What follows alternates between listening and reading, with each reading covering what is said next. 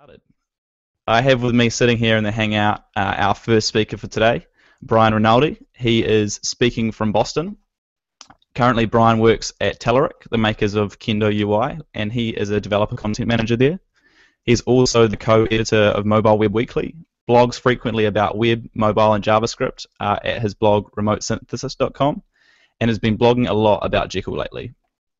Uh, we first pro- crossed paths with Brian when he presented at the San Francisco HTML5 meetup earlier this year, uh, and we're excited by his talk for this conference to help establish some context for the current technology landscape uh, that Jekyll exists in. I'm really thankful for Brian to Brian for giving up his time on what is surely a busy day today, because he is running the Telerik Next conference in Boston from tomorrow until the 5th of May. So without further ado, I'd like to hand over to Brian, and he'll take you through for our first talk of JekyllConf. All right, you can hear me fine? Can indeed. All right, great. Thanks for the intro. I'm going to switch to screen share here. Um, hold on. Get my slides going. All right. So um, I'm, I'm assuming you can see the slides just fine, right? Uh, you can. Perfect. All right, I'll get going. Um, okay, so some of you may know, especially those like interested in boxing, that there's a big fight going on tonight. Um, Floyd Many, Mary, Mayweather versus Manny Pacquiao. I'm not a boxing fan myself, but I thought I'd pick on that theme um, as we examine Jekyll, comparing it to the competition. So I had, being a bit of a geek myself, I loved the game Punch Out. I don't know if any of you remember it, but was a great game. They even remade it for the Wii, um, and it was still pretty good. So anyway, um, as was mentioned before, I work for Telerik. We make Kendo UI. We also make something called NativeScript, um, which is for building mobile apps with JavaScript. We make a, lot of .NET controls, uh, native UI controls, and tons of other stuff. We don't make anything particularly relevant to Jekyll. It's just been a fascination of my own um, that I picked up. I've been kind of uh, in love with static sites for a while and just have started a project which is partly what I'll be talking about here um, to look at different engines. So this is the hero of our little story here, Jekyll. Um, and we're gonna he's gonna face up against a number of different engines. So uh, we'll talk a little bit about Jekyll himself towards the end. But first, we want I want to look at like Jekyll. I'm assuming that everybody here has either used Jekyll in some manner or has is interested in Jekyll and knows at least enough about Jekyll that we you'll understand some of these comparisons as we look at different engines. So before we start, let's set some of the rules of the fight. First of all, everything I tell you is that these are these are all my opinions. These are not like you may try out the same engine that I compare Jekyll to and find complete you have a completely different opinion of it than I do. Um, for instance, as a as an example, I've occasionally presented this where uh, somebody who is very very comfortable in Ruby um, has a different opinion of a of a Ruby based um, static site engine than I do. While I, whereas I find, for instance, some of the JavaScript-based one's easy because I know JavaScript well enough that I can dig into the code sometimes. Um, so you know, they're, they're all my opinion. They're all subjective, um, but uh, uh, hopefully, you know, you take that with a with a grain of salt. But it'll kind of guide you towards what some of the other engines have to offer and what some of their drawbacks are. So I'm going to look at things like documentation, how hard it is to get started and set and set up in the engine. Um, the language support, like you know, which, which in terms of which templating languages does that particular engine support, which does it support things like Sass or or um, or less or other you know preprocessors and stuff out of the box. Uh, so I'm gonna. I also took a look at each. Every time I looked at a new engine, I looked at each with using the default templating. Um, by that I mean every one of these engines generally will spit you out a uh, base, kind of like Jekyll does. It'll spit you out a base site that is uses um, a default templating engine. So I used whenever I built the site using one of these engines, I used that default templating engine, even if there were plugins or other extensions that could support other uh, templating engines, it just kind of seemed fair to use what it kind of guides you to by default. So like when I look at Jekyll, I would look at Liquid, um, and other ones I would use whatever their default is. So in terms of how easy it is to add content to the site um, and things like that, uh, can it does it support things like dynamic and custom data?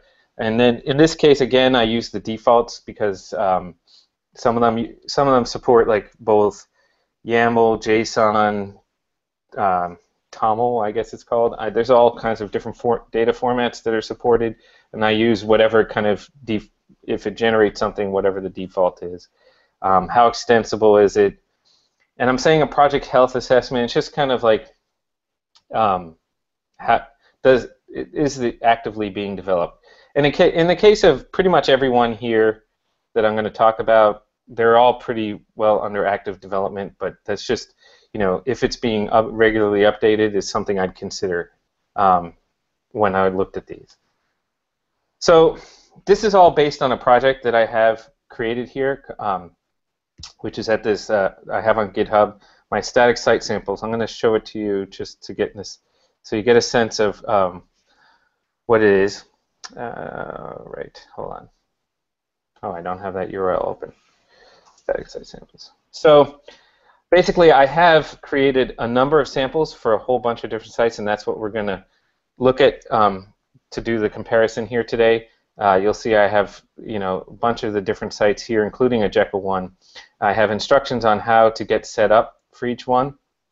And if any of you are curious, some of them, including the Jekyll example um, and the Wintersmith example, and others, have actual like full tutorials that are, I link to that are, are posted somewhere else, showing you how to actually um, how I built the different samples and how you could go ahead and build them yourself. So it teaches you about the templating and about the data and about getting set up and all that stuff. Um, not everyone has that, so it's just a couple of them. I don't have unending free time, unfortunately. So, um, but let's. I'm also going to show you what the site is to get give you a sense of what it is we're using to compare. Because what I did was I built exactly the same site repeatedly using different engines. So so that I could e more easily compare them, and we could you you could get a sense when you go through the code of how each does something differently, right? So this is what the site looks like.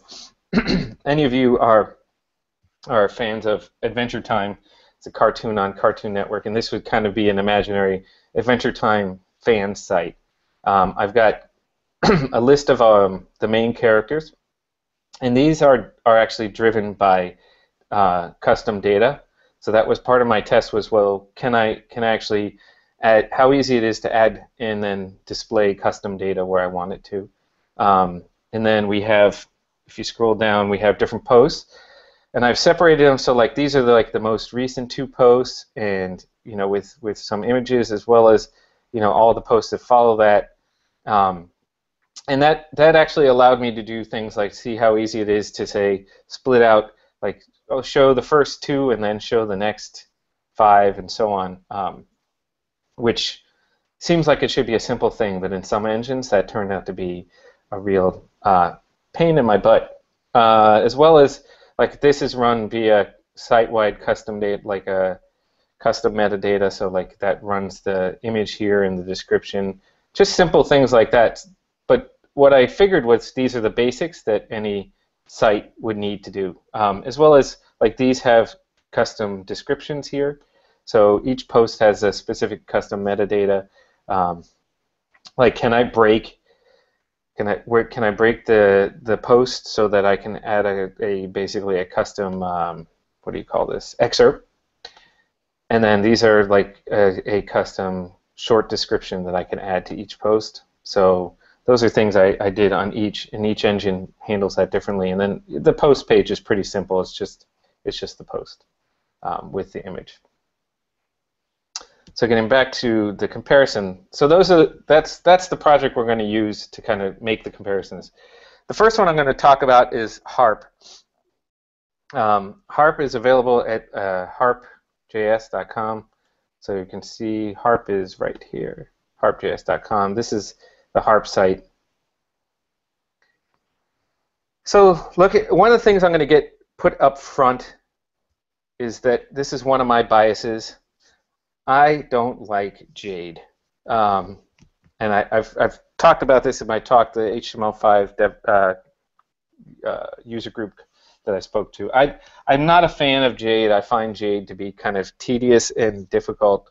Um, it's supposed to be easier and sh more shorthand, um, but uh, I find it to be actually slightly more complicated uh, than just writing straight HTML.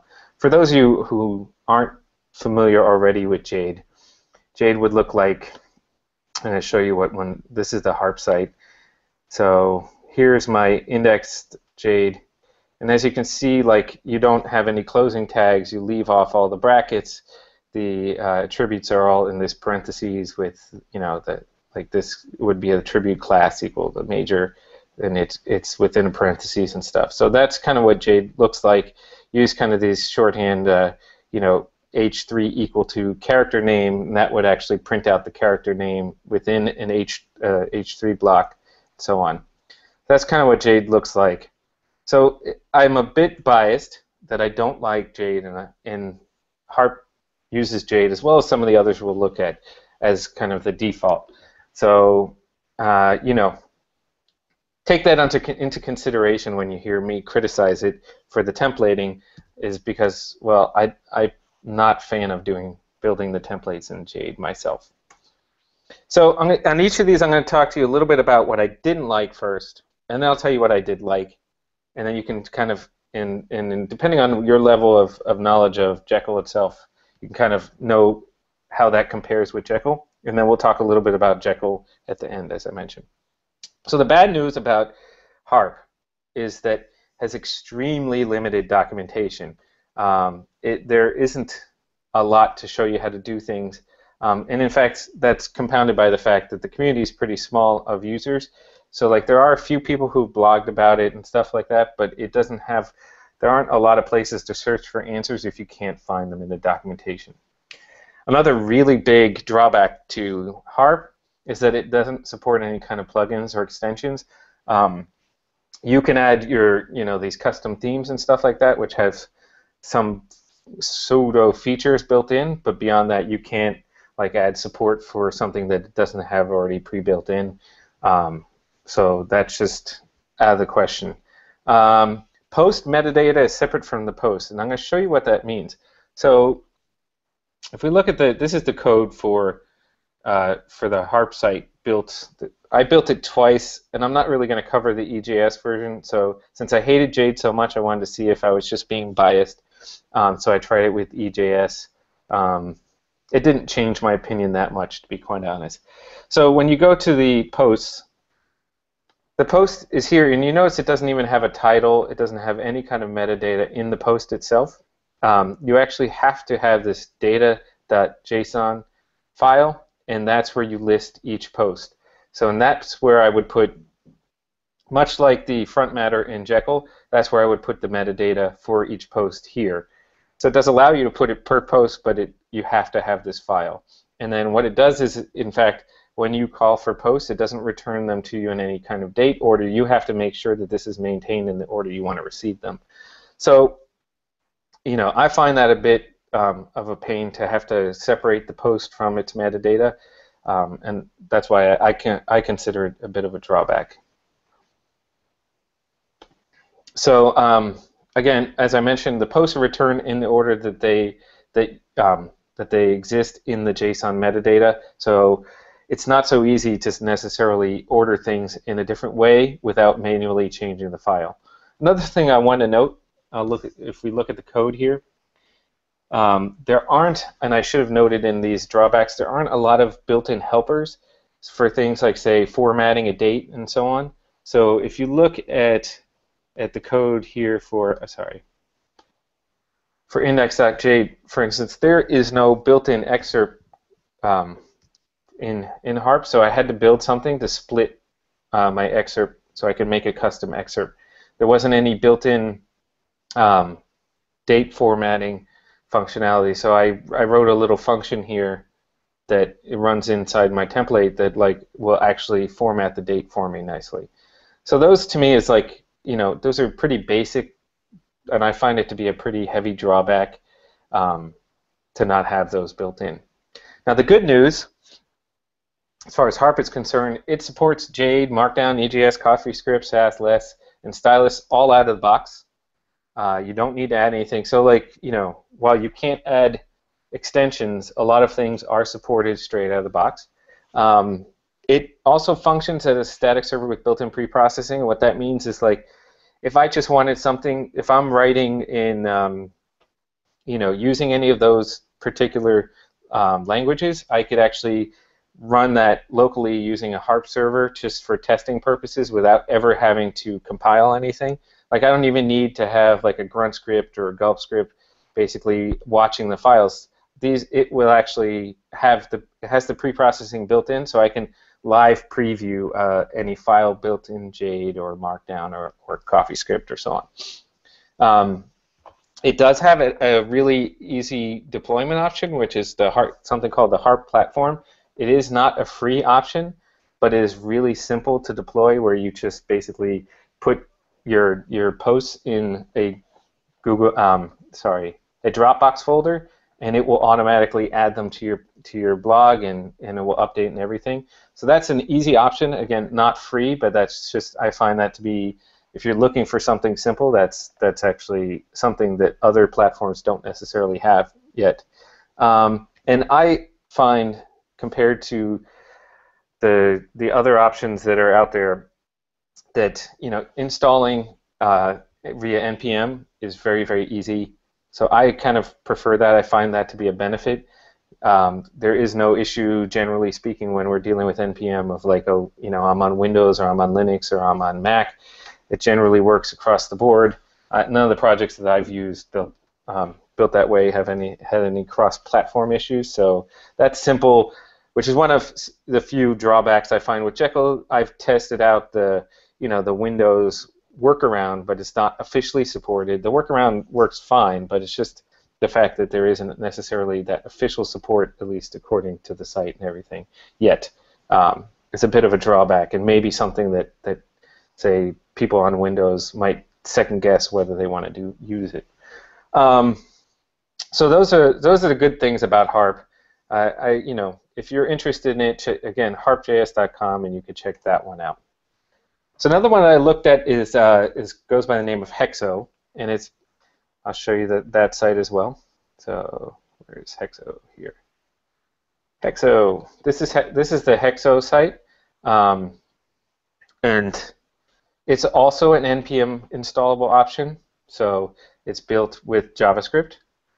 And if we look at the the Hexo sample is right here. Um, you can see that like it has slightly different way that it organizes things. It's it puts all this uh, code into source. Uh, you can install node modules and so on.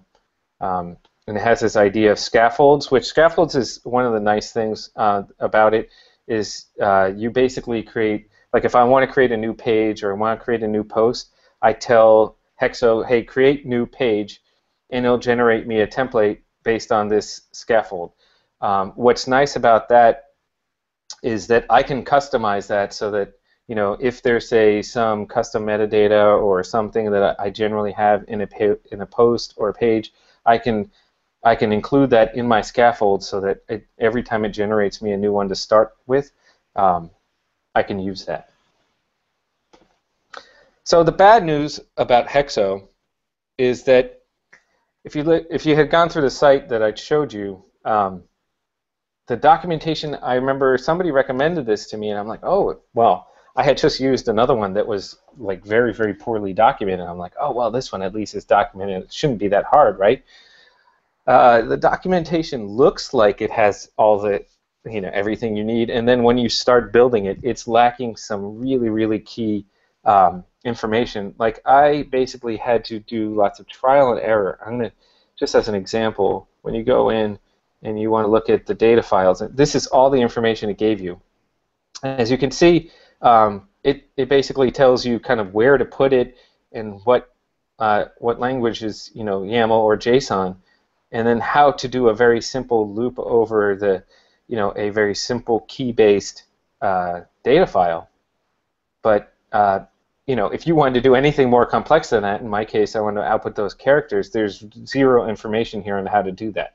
That's as far as it goes. So, I mean, I went through a lot, a lot of trial and error to get the that particular feature working. For instance, uh, in the end, you know, I so I have my data file to YAML, and in the end, I just kind of well, no, this is the posts themes. I'm going to show you layouts.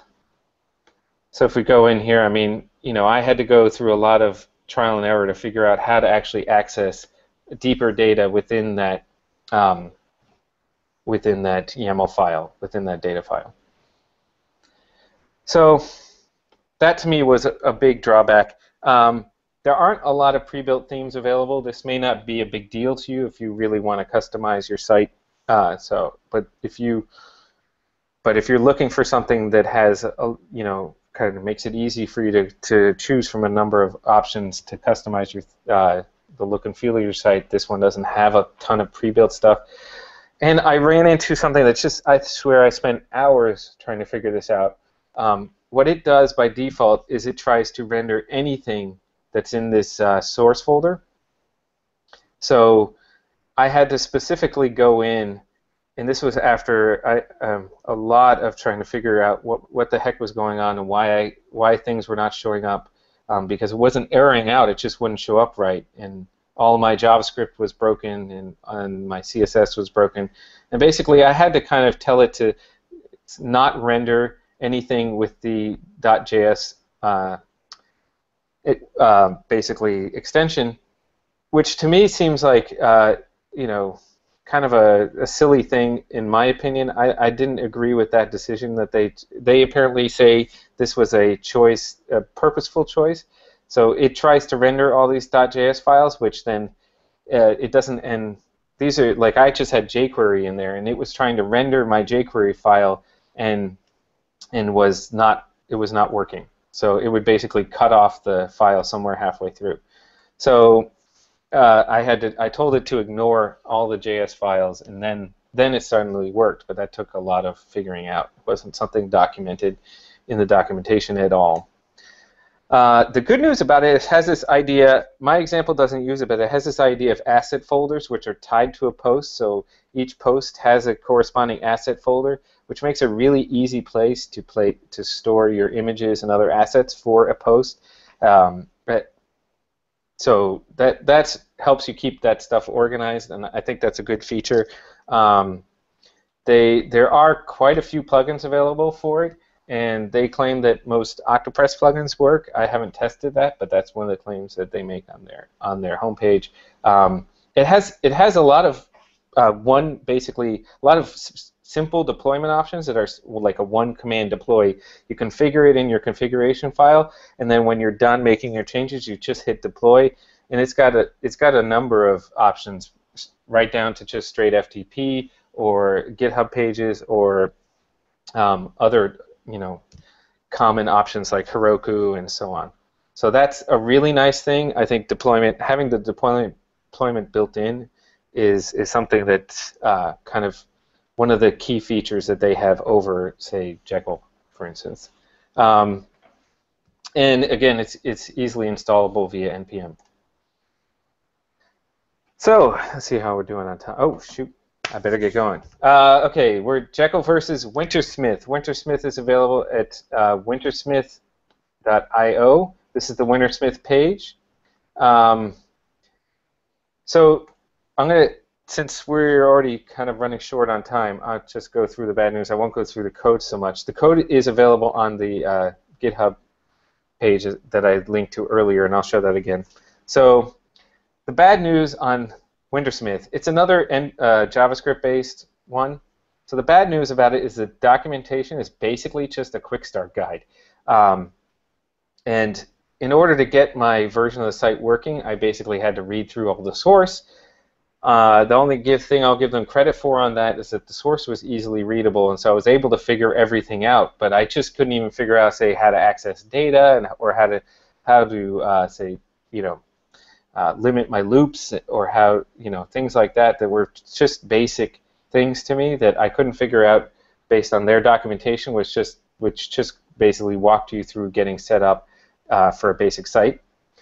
Uh, it defaults to Jade again, so I count that as a negative, but you know, if you like Jade, I guess that could be a positive to you. Uh, and the data has to be separated into individual JSON files. I will show that quickly. So this is our, uh, just so you can understand what that means. And this was another thing that was not well documented. So I had to actually split, oh no, this is not the hexo. Oh, oh this is, yeah, this is, I'm in hexo, not Wintersmith, sorry. Here's Wintersmith. Um, and then we're going to go to, uh, where is it? Plugins, the contents. Care, oh, okay. So I had to name, you, and this was, again, not well documented. You had to name the folder whatever you wanted the data to be under. Like, say, if I wanted under the characters variable, it had to be in uh, characters. And then I had to separate each character rather than putting it each in its own file. I had to separate each one into its own JSON file. Um, to get this to work. That was the only way I could get it to work, and I, which I found kind of silly um, and, and tedious to, to actually do. But in a way, it was it was kind of nice. So it's more like a Jekyll collections, I guess, than than like the data files. But so in a way, it has some nice aspects to it, but I found it kind of tedious, especially if you're dealing with a large amount of data. That could be a pain. Um, and it's also if it doesn't if it supports some kind of other way of handling it, it's absolutely not documented, and I couldn't figure it out. So um, that that's just kind of ended up being with the way that I got it to work. Uh, there are a lot of plugins out there for it. Um, there are a lot of examples of sites built using Wintersmith. So, and most of them are are listed um, on their examples page. Uh, they're they're real world sites. They're actually out in production, but they a lot of them are open source, so you can check a nice way if you can't figure something out, um, which again, since it's not well documented, you usually can't. A nice way is to go to their examples and just look at how somebody else did this, something similar to what you're trying to do. Adding npm modules is really really easy. I can just you know it comes with some pre-built in like Moment.js for handling dates, so no need for helpers or anything for handling dates or uh, other aspects of uh, formatting and things like that. I can just use npm modules, and it's easy to install them and integrate them into the site. So that was a nice uh, feature. Uh, so if you're already you know well versed in JavaScript or Node, that might be e really really easy option for you. So Hugo is actually another engine based on Go, the Go language, uh, which is from Google, and so it's a static site, site generator based on Go. Um, so let me show you the site really quickly. Go. So it's available at gohugo.io. They got a really nice site, I think, um, and it's actually you know well documented. So the bad news for me personally about Hugo is that I found that the Go language was very different than what I'm used to, um, and you know I, for instance, I feel like I can use Jekyll and not necessarily need to know Ruby very well, um, but I couldn't, I didn't feel I could use Go, I mean, sorry, Hugo and not understand Go. In fact, I often found to solve problems that weren't in the documentation um, that I had to actually go into the Go language reference and search for some information about how data structures are handled and things like that. So while I will actually say the docs are pretty good, they have a lot of documentation and they cover a lot of use cases, there are some key details that are missing. Oftentimes what I find it lacks, it has it tells you how to do like generally how to do something, but it lacks in any examples. And, sin, and unless you're very, very comfortable in Go, you'll often find you don't understand the syntax of it. At least that's my per, you know uh, like it'll tell you something's a function but how you actually reference a function in go is slightly different so it was a little hard to get used to um, and I found it really hard to find help while there it does seem to be a decent community around Hugo I found it hard to find help when I got stuck mostly because like if you're trying to search for answers, uh, it actually comes up with all kinds of irrelevant things about Hugo the movie and Hugo, uh, you know, famous people named Hugo, and it was just very, very hard to find anything. Um, I didn't find a lot of people blogging about it, but there does seem to be at least a decent community behind it. The good thing is that it compiled so blazingly fast, I thought it didn't work. Um, and I granted this is a very simple site, um, but you know, having used all of these, I've seen the way how fast they compile, and this was so fast. I mean, it took just milliseconds to to compile this site, um, and that's one of the things that they boast about on their homepage, and, and it's it's definitely true. Um, it has a nice little command line for generating new pages and new posts, which was also uh, in I think it was Hexo. Um, it they they place an emphasis on respecting your content organization, so you don't need to like necessarily name things a particular way or place things in a particular folder. You can place them wherever you want them to be on your particular site, and that's where it'll generate them. And there's ways to kind of control that, but uh, and configure it. But so that's one of the nice features I think about it. Um, all right, this last one since we're running low on time anyway. That works out is uh, Middleman. Some of you may have heard of Middleman. It's a Ruby-based uh, as well, just like Jekyll, Ruby-based engine. Uh, Middleman is available at middlemanapp.com. So the things I I found in my in building that site with Middleman that I didn't like was I found that the setup and configuration was way more complex than say I was used to with Jekyll or even some of these other sites. It was uh, the the uh, here I'll quickly show it. So middleman site. So you have to th there's this configuration file and the gem file, and you had to uh, there was another there was other configurations in here as well. Um, but it was a little bit harder to set up. Um, things like like live reload weren't actually built in. You had to load in. There's all these basically um, I forget what their term is for it, but basically additional modules that support all kinds of features, and those all had to be added into this gem file. Some of them were built in, but some of them you had to actually go, like if you're trying to figure out why it's not live reloading, you had to, I had to go look for documentation and oh, okay, there's actually a module I have to load in to do the live reloading, and I have to add it to this gem file, and I have to add it to this configuration file, then run the, the bundle install, and so on. So I found just for some of the features I thought would come out of the box, um, I had to do a lot, a little bit of work.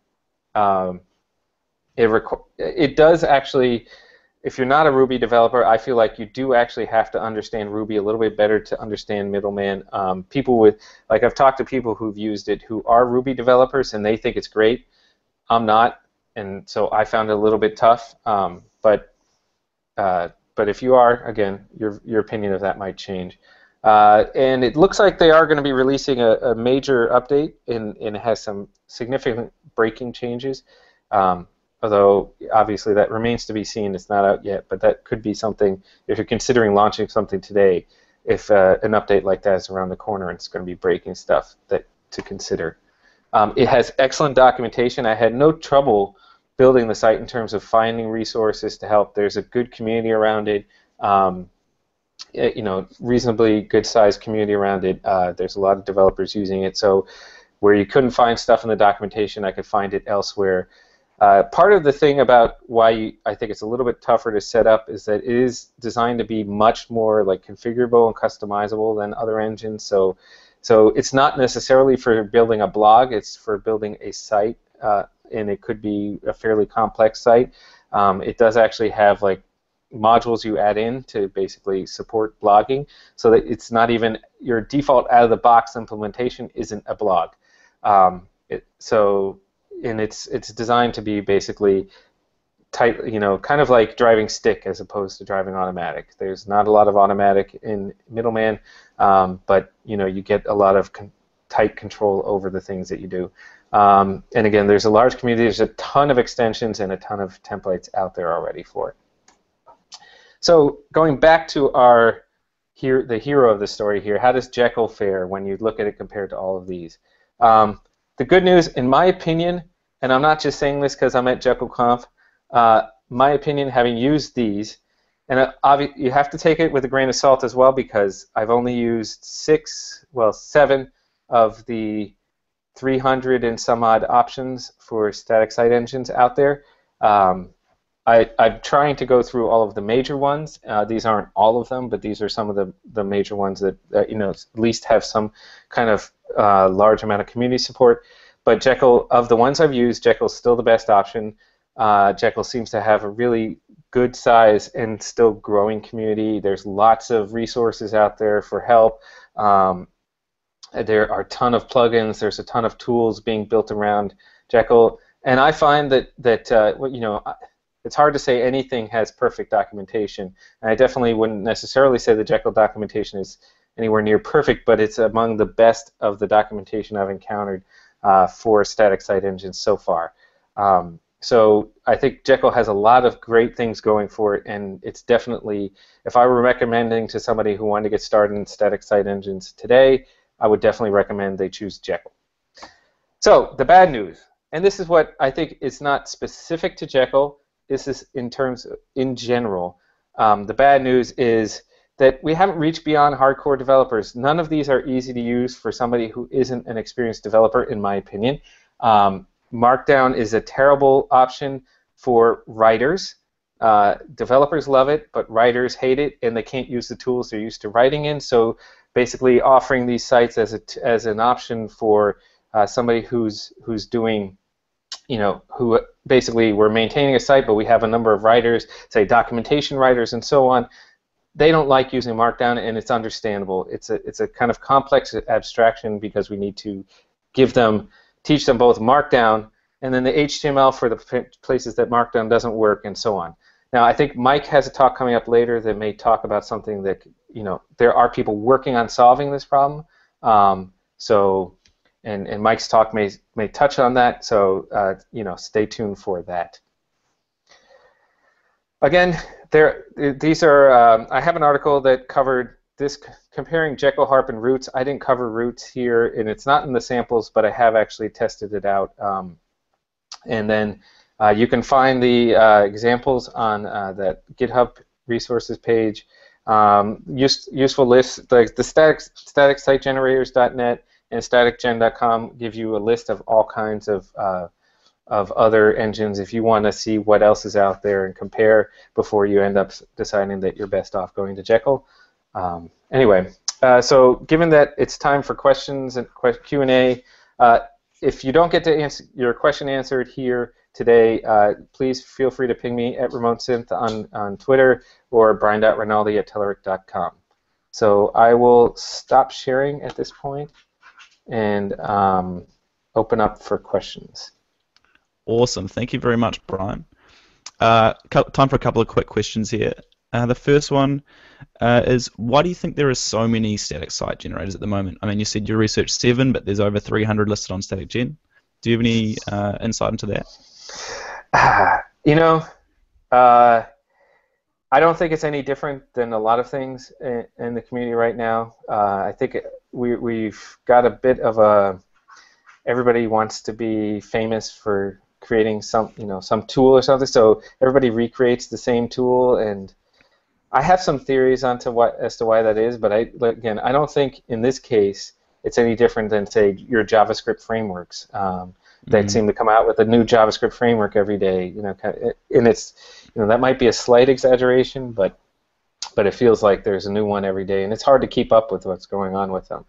So, you know, it, even if, for instance, you look at the templating languages, all of these seem to use one, you know they don't all use the same templating languages. A lot of them use uh, you know different ones, and they're all almost very very similar outside of Jade. Mm-hmm. They're all very very similar and solve the same problems over and over again. There's just slight like one might include a dash where the other one has you know just a parentheses or, or sorry uh, um, not a parentheses a percent symbol it, it's just it's it's a slight variation, and they're solving the same problem over and over again. I don't understand why it's been done so many times, but so it's it's a problem we have, I think, in general in the community, in the developer community, not specific to this um, issue. Cool, awesome.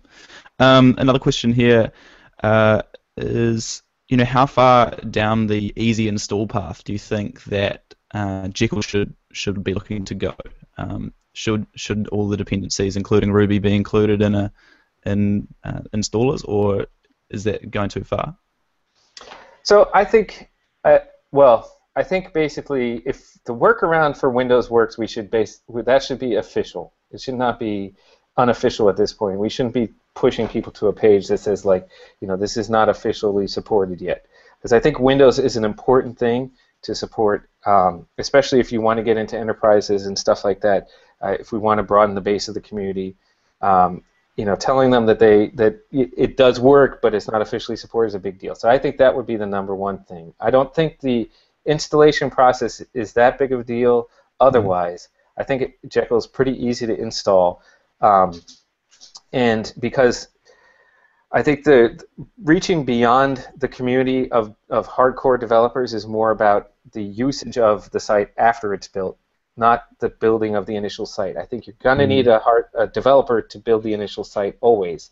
It's just a matter of can we get it so that people can you know can contribute to these and we can work in larger teams that aren't we don't have to like teach uh, teach them nuances of all kinds of uh, complicated abstractions and, and things like Markdown and so on. So I think that's how we reach beyond um, just a niche community, which, I mean, static site engines are growing, but it, it's still somewhat stuck in a niche, I think. And I think part of that is that when I talk to people about it, they, it's, you know, well, I can't I can't even you know deploy this for my company and then have anybody contribute because mm-hmm. they don't know Markdown. They want to send me Word docs, and then I'm stuck converting everything and so on. So it's like um, that's the big issue for me right now. Cool. Awesome. Uh, final question. Uh, you mentioned that you judge the um, different static site generators a lot on the health of their community. Mm-hmm. Is there anywhere that Jekyll do you think could uh, learn from the other communities, um, things that are, things that are, they're doing well to demonstrate their community health? Hmm. Uh, I'd say honestly, no uh, I think Jekyll's community is probably the, the strongest, and I think even this conference shows like you know nobody else has anything else like this going on for any of those engines. Um, so so far I haven't come across anything. Some of them are, are healthy in terms of you know as a, a lot of it is about where how easy it is to find people who are using it and find resources and help on you know uh, when you get to something that isn't necessarily covered in the documentation. Um, and I think Jekyll has that already. Jekyll, like I've never had an issue finding out how to do something in Jekyll. It seems like somebody's already tried to solve it.